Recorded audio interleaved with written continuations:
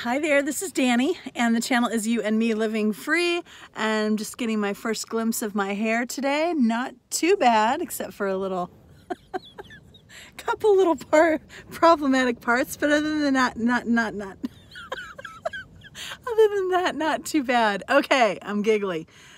I am back in Quartzsite and it, it's funny, Quartzsite has become like this comforting kind of place, almost like a second home, just because one of the problems, one of the challenges, one of the things that takes a lot of my energy in this nomad existence and this traveling and constant yearn for adventure that I have is that sometimes the stress of looking for a new place to sleep at night, of doing everything in the unknown. Like you're you're going somewhere new, somewhere cool. It might be a national park, it might be a destination or something, right? And that's awesome.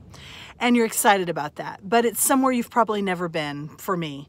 And then to put on top of that, you don't really know where you're sleeping that night and you're going to have to find it and you're going to have to make sure it's okay and that you're comfortable there and everything and it's just a lot of work. And so since I've stayed in Quartzsite a couple times now, and there is so much BLM land here, and there's so much open and empty space now that a lot of people have gone, now that RTR is over, the big tent, I think the big tent show is over, although I drove by and there's still a bunch of um, RVs and stuff there. I don't know, it may go on all month. I'm gonna have to check it out. Anyway, anyway, uh, what do you do? I'm just starting this video and I already lost my train of thought. Okay, what do I do? Because I want to come back to Quartzsite for, Quartzsite for the comfort factor. Also, I know where to get water. I know where to get food. I know where to dump my trash. I know where to do everything. There's something comforting about that. And it is wide open and sunny. But today is, oh, there's a wind advisory today. Now, Back in Kansas City, my kids are dealing with a snowstorm and they're going to get 6 to 12 inches of snow. It started last night. It's supposed to go all through today, right?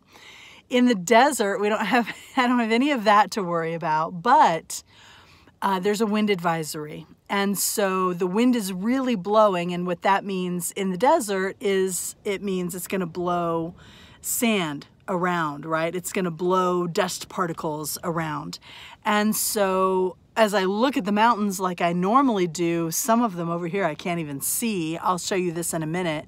And then some in front of me are very obscured. There's a lot of, um, like it looks like haze in between, but I just know it's just the particles of, of, of dirt and that fine dust uh, that's just being blown around everywhere. So not really anxious to go out for a walk, even though I'm supposed to be walking every day. I'm supposed to be more consistent. So then the question is, what do you do on a super windy day? Now, I have a bunch of videos to edit. I'm behind on my editing videos for YouTube.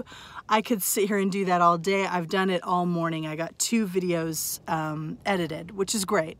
But I could be content to sit in the van and have like a van day and do work and be engaged and be and be just fine. But here's the deal. If I did that all day, then by tonight, when it's time to wind down and go to sleep, my body's like, you didn't do anything today. There's no way we're going to let you sleep. Honestly, so I have to get up and do something or I know I'm going to pay for it later. So maybe we'll go run a couple of errands maybe I'll take you along. I'm going to do a quick 180 of where I am so you can kind of get the feel, but it's going to be a lot of wind noise, so I'm not going to try to talk over it. I'll just give you a little 180 of, or 360 of where I am and give you some idea how it feels right now.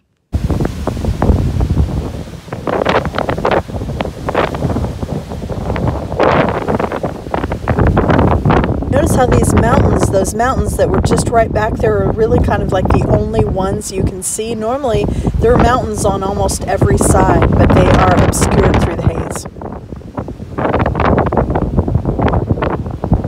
Well, here's what my hair looks like now after 30 seconds of the wind. Let's go into town. The uh, the garbage pickup is going to close in a little while, so we need to dump off some trash I could grab some water, just really trying to get out of the house, so to speak. uh, let's do this. Well, it's windy all right. Oof. Yep, this is the refuse transfer area. You just drive right up, you throw your bags in, and that's that. Well, that was easy as pie and no line or anything. That's another reason I love staying at Plomosa Road. As you're head down to Quartzsite, it is only literally five or six miles north of town, but the dump station is on your way. So it just makes it so convenient. I don't even have to go out of my way for that. Um, I'll stop by and see if the water, the pit stop where you get water, is crowded or not and we'll see. Maybe stop by in there. I need I could use two or three gallons of water. I usually carry about eight gallons or so with me. So being maybe three three and a half gallons down um, is a perfect point to fill up. Because just like gas in my tank I don't let like to let the water go down if I don't need there's really no need really no reason to let it get all the way down. I just keep refilling at a reasonable at reasonable interval intervals. Can't talk today this place looks empty. Looks like the wind advisory is keeping people home. Either that or, yeah, looks like the wind advisory is keeping people at home, um, safe in their RVs, and there is no one here getting water. This hasn't happened since I came to town. Woohoo! Well, with this bit of luck at the pit stop now, I'm wondering if maybe the laundromat will be not crowded today fingers crossed. Um, I hate the laundromat. I don't like to use the word hate, but going to the laundromat is not one of my favorite things at all. And it can be bearable if the laundromat has plugins for your computers and good, good um, Wi-Fi. A lot of library, or a lot of libraries, a lot of laundromats do, and I love that. I don't mind doing doing things in there, um, in places like that. But uh, the one in Quartzsite has no Wi-Fi, like any place does. No place in Quartzsite almost has Wi-Fi, and also um, it's it's always packed. The every time I've been there, it's been packed. But again, now RTR's over. The big tent, its initial week is over. Maybe I'll have better luck. Fingers crossed. You know what? The laundromat does look a little less crowded than usual. The parking lot is only a little over half full but I just don't think I'm in the mood to do laundry. Uh, like I said, it's not one of those things I enjoy. And if I'm already a little like irritable or not wanting to do it, then it just, sometimes it just puts me in a really bad mood.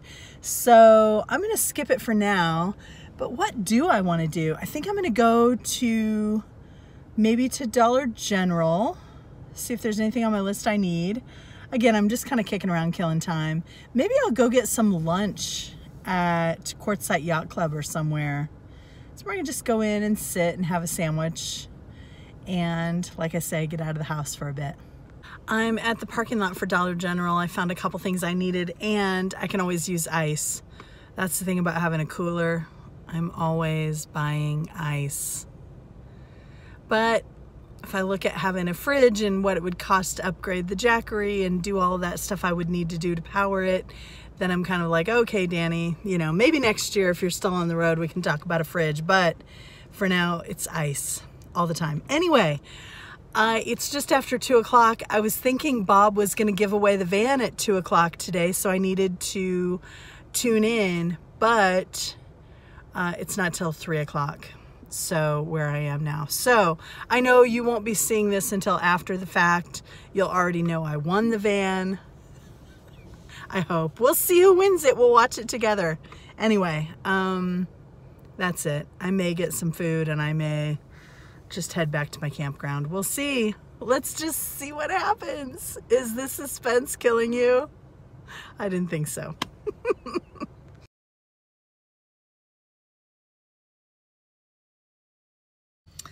the good news is lunch at the Quartzsite Yacht Club was good. It wasn't great, but it was good. the beer I had was really good. Um, sat there until it was time for Bob's drawing and I didn't win the van. it was so funny because when they were about to say the name, I was just hearing my name. I was hearing them say my name and I kept hearing them say my name. and then I think the person is Deanne, and I was like, oh, close, but it's not me. I was actually a little surprised when they didn't say my name. I guess I did my visualization and everything really good. Um, but I know there were a lot of people who wanted it really badly, and I'm just hoping somebody who, I'm sure the right person won it, whoever really needs it, this is really going to be the best thing for them, and, and it all is working out perfectly. So I'll just tell myself that as I, as I tend to my broken heart. And um, I think I'm just going to head back to my campground and kind of cocoon a little bit and maybe call it a day. So unless something really exciting happens, I'm going to close out this video now and I'll catch you next time. Thanks for being here and um, I'm sending you a ton of love. I hope you feel it. Bye for now.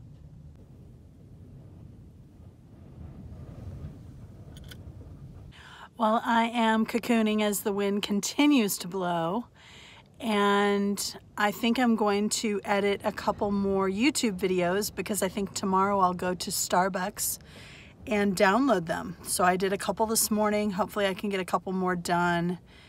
And then tomorrow I'll go have a day at Starbucks where I'm using their internet, getting, getting a nice venti iced black tea and maybe some lemon loaf. um, depending on how long I stay there and soak up their internet. I just thought I'd throw this on the end. This is about the most exciting thing. And then I'm just gonna relax and I have like three books that I'm reading right now and one, two of them are on Audible and one is on my Kindle. And I, but I've been reading a ton lately because of these early nights, right? The sun goes down and what are you going to do? And I I hardly ever watch TV, but I did download a couple things to my Kindle uh, that I've watched. So maybe I'll be able to watch a little TV tonight. I don't know. I'll probably end up just editing um, YouTube videos and then maybe doing a little reading and heading to bed. But that's a few hours away. So anyway, that's it. Pretty exciting stuff. Pretty exciting stuff. Aren't you glad you stuck around? I don't know if I want to know that answer or not. Anyway, see you next time.